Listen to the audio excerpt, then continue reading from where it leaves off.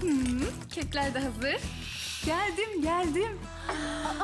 Nereden aldın bunu? Marketten Ne dedin de aldın? paket dedim bunu verdiler. Aa, hazır kek mi bu? Yok daha neler. Şunun şeklinin güzelliğine bak. Ay çikolata, fındık. Çok da lezzetli görünüyor. Ay ben dayanamayacağım yiyeceğim. Hmm, şahane.